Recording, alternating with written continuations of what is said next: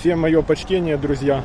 И сегодня, 11 июля 2022 года, появилась вот такая вот информация от министра обороны Украины Резнитова, который заявил, что Зеленский, что Зеленский приказал военным деоккупировать прибрежные районы на юге. Для этого Украина собирает типа миллионные боевые силы. Вот хотел бы